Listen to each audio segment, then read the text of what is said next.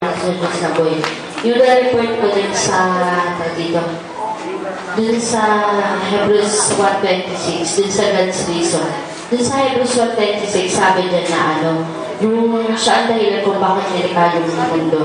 Yung sinasabi dyan na dahilan, yun nga si Kristo. Pa, kung wala si Kristo, wala yung ano, wala yung mundo, yung pinapatungan natin. Pero kahit yung isang bagay man lang, maliit lang man na bagay na gagawin natin sa kanya, hindi lang na, hindi man lang natin nagawa. Katulad sa ano, PDP, hindi man lang natin yung magawa. Ano,